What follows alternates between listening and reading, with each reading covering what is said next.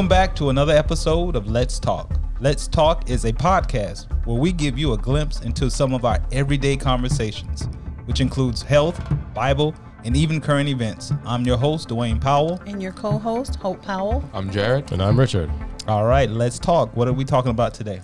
Today we're talking about forgiveness and the need for reconciliation. Yes. And this is from scripture. When we look at Matthew chapter 6, we see that Jesus taught us how to pray.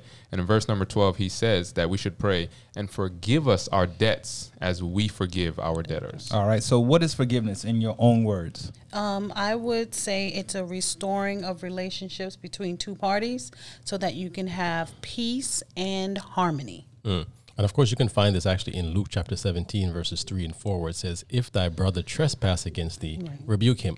And if he repent, forgive him. So forgiveness doesn't necessarily mean you neglect to correct the person, right. because in so doing, you allow them the opportunity to see their wrong and also to make reconciliation. Right. Mm, okay, right. let's jump right into it. Any personal testimonies on forgiveness? Well, I guess I can start on that because I actually have um, three younger siblings. Um, I have two sisters, one younger brother as well. And and growing up, it, it, was mostly myself and my sisters growing up. We were the first to be born, and there have been differences and situations have arisen between us where there was. Um, you know, unforgiveness arose from whatever the situation was. I remember a few times actually that uh, one of my sisters, um, you know, stole my credit card and ran it up Oh boy! You know, many probably of you right now, like I have one of those siblings.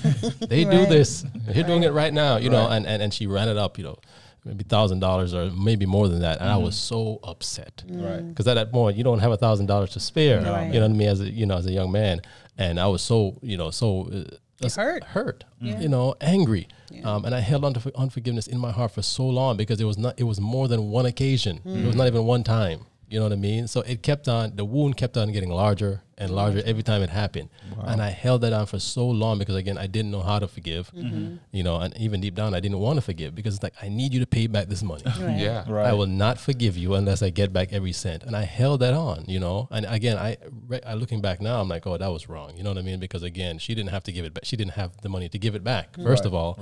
And, and second of all, holding on to that just made me, just made our relationship go, um, you know, what's that tear word? apart. Schism, tear, yeah. yeah. there's a schism that a kept schism. on growing, growing, right. you know, apart. But we've we've reconciled now. Amen. But that was a very you know tough time for me because that that was so hurtful. Right. You know what I mean? But I thank God for reconciliation, yeah. especially because they were my sisters. Right. You know. Right. And if you hadn't seen our previous episode on trust yes. and broken trust, mm-hmm. then today is um, going to be a blessing as well. So as Richard just stated about a sibling, just go back and watch the previous episode if mm-hmm. you have not seen it. Mm-hmm. Yes, and I will share a testimony. My um, about unforgiveness came from my older brother who abused me when I was young, and that caused a big rift, not just between him and I, but also the family. Mm-hmm. And I carried that for many, many, many years. But when I came to Christ, I saw that I had to forgive him, and I also needed to forgive him mm. for me. Mm. Yeah. Yes. For me, I've had you know multiple occasions of hurting other people and being hurt as well. And one that I'm thinking of right now is you know when I was in high school and uh, I had you know some some good friends, of course, and you you make jokes with your friends or whatnot, but some can be more hurtful than others. And I just remember a few of my friends.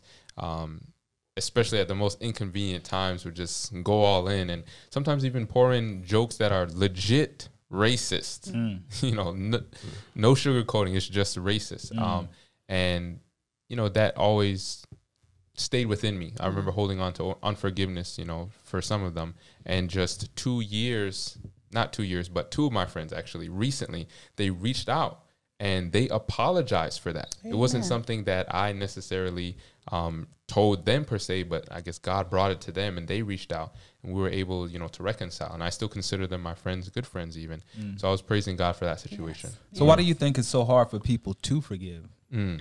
Very good question. Very good. it's hard for people to forgive, you know, when I bring it home to myself because when somebody does something to you, you do not have control of that person's actions or that situation. Right. Mm-hmm. So now by holding on to unforgiveness, you kind of put yourself in this position where you think you can control them now yeah. in your mind even. Oh, well, if I was in this situation, I would do this. Or what you do is you begin to act towards them a certain way, um, which is not right. Right. You begin to, you know, retaliate to them. And sometimes they do not even know why you're acting that way because Mm-hmm. you haven't told them. Right. So, in other words, you um, are waiting for an opportunity to interact with them so you can get back at them. Exactly. Yeah. And another reason why it's hard to forgive is because of fear. A lot of times when things happen to you, um, you are concerned or worried that it's going to happen again. And fear is a um a, a weight. It's a burden as well. And, and and coupled with unforgiveness whoa you know you have to be careful because if you allow fear to keep you from moving forward or from forgiving somebody it, it can hurt your Yeah. life. And like what Jared was saying, that is extra work on yourself. Yeah. when you're you you know acting a certain way because of a person that you are holding unforgiveness towards. Um, every time they come around, you your mood change. You know, or you say, "I'm gonna," you know, "I'm not gonna speak to this person," and you sometimes go out of your way out- to speak yeah. to the others that may be in the room, or if you know if that's the case, and try to ignore that person. Um, that's just extra work. Yeah. You know. Right. That's right. And you, again, you go, you become a prisoner in your own mind. You know, there's a saying that says, "Hey, you can't prevent or stop the birds from flying over your head, but you can prevent them from laying a nest in your head." You know what I mean? You know, Yeah. so you can't. You, you can prevent people from you know taking control of your mind. They're enjoying their life, Right. living their life, and you're sitting there just holding on to this. You know what I mean? Extra work. Um, but just to move on, another thing why it's so hard for many people to forgive is they hold on to pride. Yeah. And of course, that's just the na- that's the carnal nature. Right. That's Exactly. innately in us, you know, which we have to get victory over. I'm just Right. look at it from a relationship standpoint. You know, I'm married, and many times there's been situations um, where there's been differences between myself and my wife. You know what I mean? And sometimes you feel in yourself that hey, you're right, and so you're not going to yield. Mm. Right, because I'm right, and so there's a schism now. You, one person's quiet, the other person, no one's talking, Right. Because both are right, Right. but both cannot be right. you know what I mean? And so these things arise in relationships, and you have to be able to yield, surrender. You know, especially when you know you did or you said something wrong. Yeah. Exactly. You know what I mean? But that conscience is just like you're just sitting there, you're just mad. Like the Holy Spirit's like, you know you're wrong, right? Mm-hmm. You know you're go mm-hmm. talk, go, Go talk, talk. go Yeah. communicate, open Yeah. back that communication line. not gonna do it you know, you know what I and mean? and that's why communication is very important because sometimes you may not know you've said or done something Yeah, wrong, sometimes. you know, and then the person don't say nothing, and you Yeah. don't say nothing, Yeah. and then you just know the the the the, the mood the change mood change, Right. The Right, air is a little thick. you know, Right. and that's why you should communicate and um, you know talk and lay aside that pride. Like early writings one nineteen is pride and selfishness will laid aside for five minutes. Yeah. That's it. Solve most problems. It will solve most problems, That's all it. problems. All yes. problems, One yeah. one more point to the marriage relationship. You said that a lot of times neither is right, and there are some times in marriage that you have your own perspective and you want your spouse to see it how you see it Mm-hmm. and so it's not necessarily either party is wrong Mm-hmm. it's about working through it's your perspective Exactly. and then you hold on to that you, you're not seeing what I'm saying. You don't hear me, hear me, yeah. and that turns into unforgiveness instead of, as Dwayne says, sit and talk that out. Sit you and have talk it out. communication will solve a lot of people carrying unforgiveness as well. And and once you sit, talk it out, forgive each other, move on. Move Do on. not linger in that that, that situation. Don't Do not it revisit it a month later, a That's week right. later, a year later, whatever. Forget about it and Yeah. move on. That's Open right. that wound and put some salt on it. Yeah. Don't, Exactly. don't do it. Exactly. so what happens when we hold on to unforgiveness? You know, in in this case, what if we were to hold on to this unforgiveness after we, you know, say or claim we have forgiven? Well, I will say from experience, holding on to what happened to me caused a lot of negative um, time in my life drugs, alcohol, um, hatred, um, even toward myself. Un- unforgiveness will make you literally sick. like, will. Yeah, it will tear your body apart Yeah. Mm-hmm. and having headaches, having stomach issues. So many things came out of me holding on to that forgiveness, but praise God through his mercy and his grace toward me through his word and how he loved me and forgave me for what I've done. Mm-hmm. I learned to forgive my brother as well. Yes. And unforgiveness is dangerous because it can lead you to murder. Yeah. You know, Literally. either literally. Um, when you look in the Bible, right, there's a, a great account as we're talking about, you know, forgiveness and the effects, the negative effects of holding on to unforgiveness. When you look at Absalom, David's son, and then he had another son named Amnon, and they had a sister named Tamar.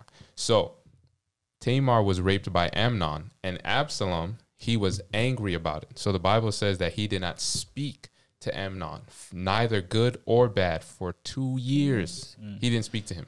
And when he got the opportunity to, you know, get back, um, do revenge to him, he killed him. Hmm. And many people, when we hold on to unforgiveness, we hate the person in our mind, which Yeah. the Bible says is murder It's murder, mm-hmm. yeah. you know mm-hmm. and if we get the opportunity what would we do to them oh we many times when people want to get back at somebody else they don't want to just do equal with what you did to me Right. they want to oh you know One up up- it one up, one yeah. up it One up Yeah. it. Mm-hmm. you know Yeah, that's true. I mean, yeah, I mean, I know somebody actually who has held on to unforgiveness for over 20 years. Mm. And it's Wow. not toward an acquaintance, you know what I mean, a friend, but it's actually a family member.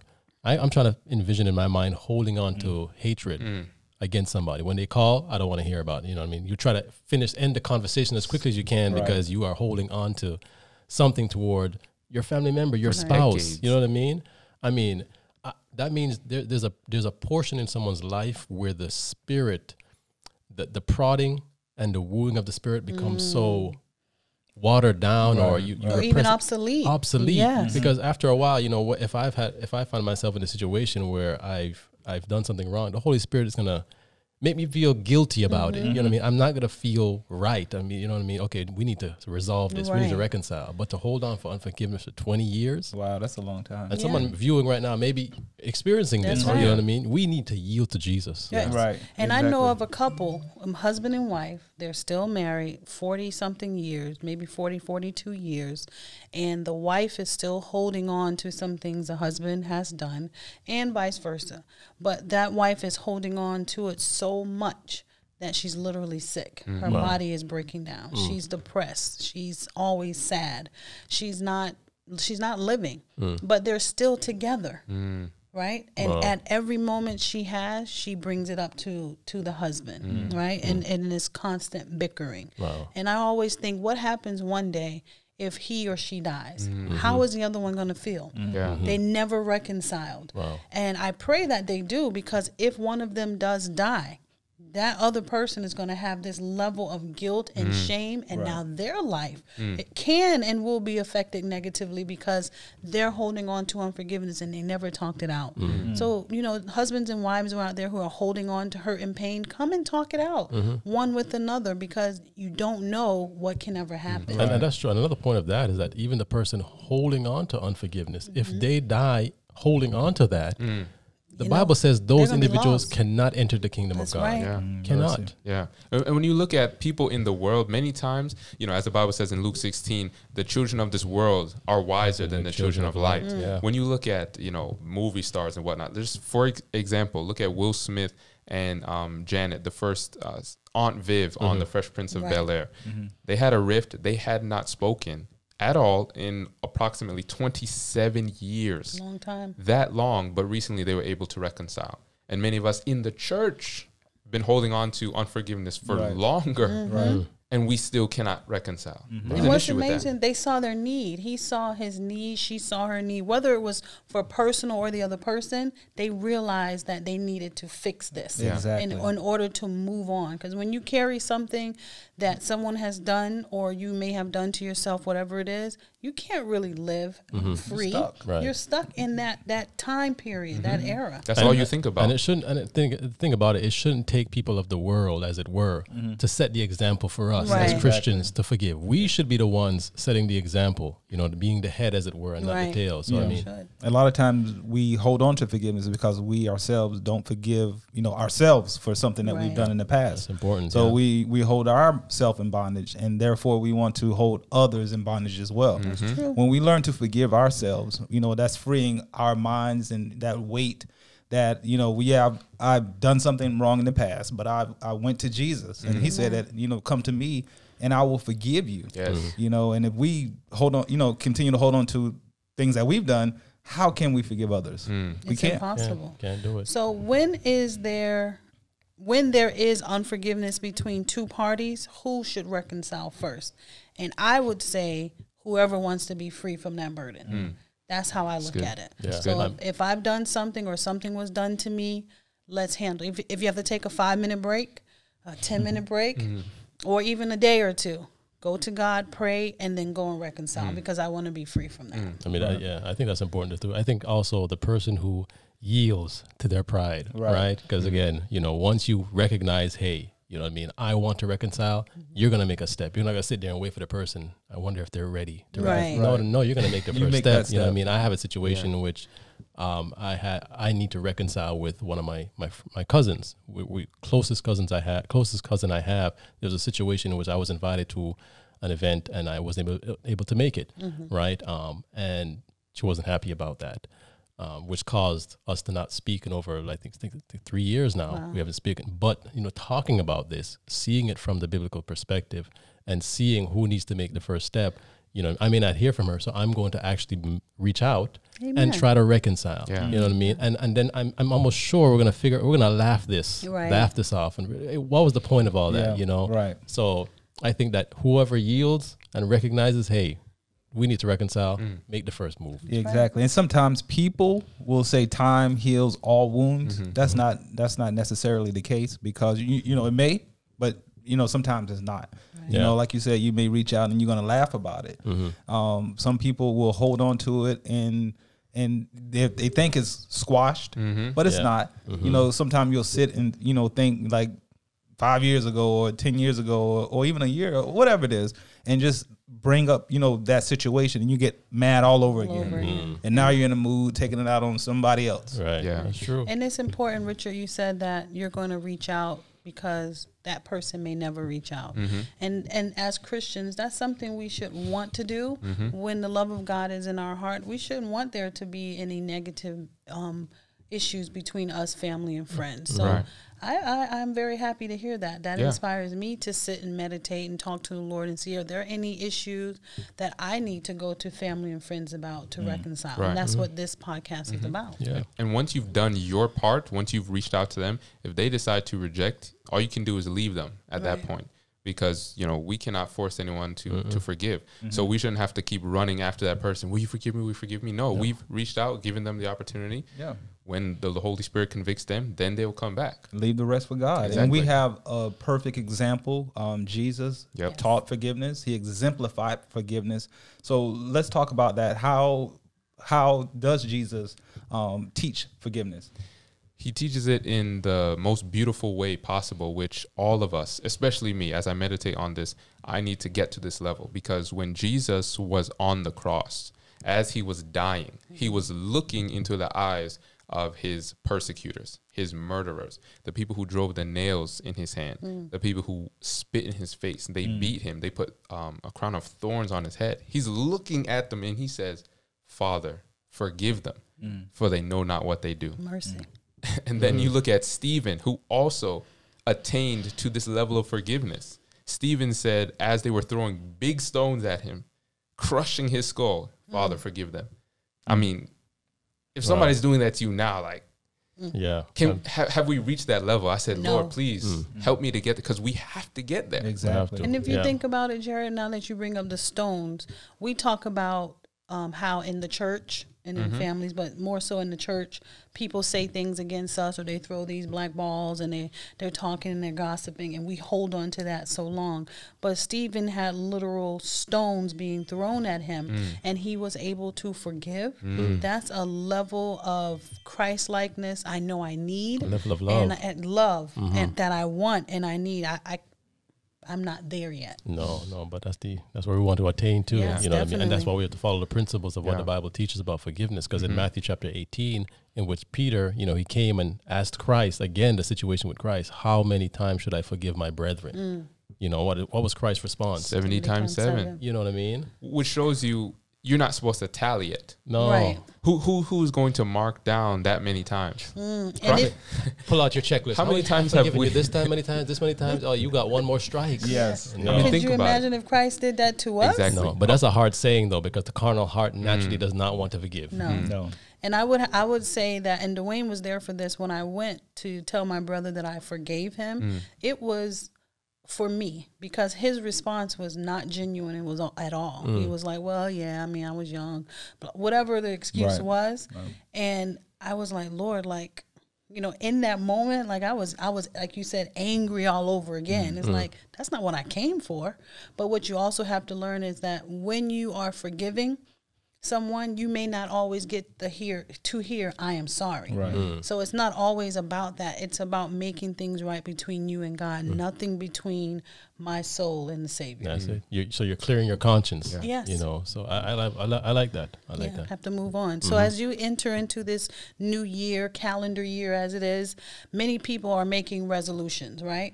But the root word of resolution is to resolve. Amen. So for all of you out there and we here at the table, let's choose to resolve any matters, any Mm-hmm. issues in our families with people, our acquaintances, if someone at work, and most certainly people in the church, Mm-hmm. Yes. right? Because how are we Especially- worshiping in spirit and in truth Mm. if we're holding on to Exactly. unforgiveness? And let us remember Hebrews 12. In Hebrews 12, it says, Let us choose, it's a choice, to lay aside the weight of unforgiveness, Yes. which so easily beset us. You know, who should we look to? Christ. Jesus. We have to Jesus look to Christ. Jesus, mm-hmm. who he endured the cross, the shame, and sat down on the right hand of the Father. Mm. And that is also where we are able to sit if we glean and, and, and take hold of his teachings. Mm. I, I love that because again, the scripture says, "Let us let us lay aside every weight," and one mm-hmm. of those weights is unforgiveness. Someone may be holding on to something else. You know what I mean, malice or, or, or grudge or something else. Every weight, every sin, mm-hmm. Mm-hmm. Whatever it is. whatever it is. Whatever it is, let's lay it. it, lay, it, lay it aside. And if there's no other reason to forgive someone, if you can't find any reason, if you don't think anything we're saying makes sense to you, just remember that Jesus Christ will and has forgiven you. That's why we should forgive. Amen. Amen. And with that being said, thank you for joining us on another episode of Let's Talk.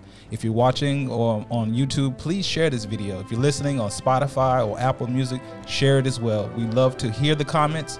Um, continue to um, practice the, the ministry of reconciliation, forgiveness, Amen. and we will talk to you next time on Let's Talk.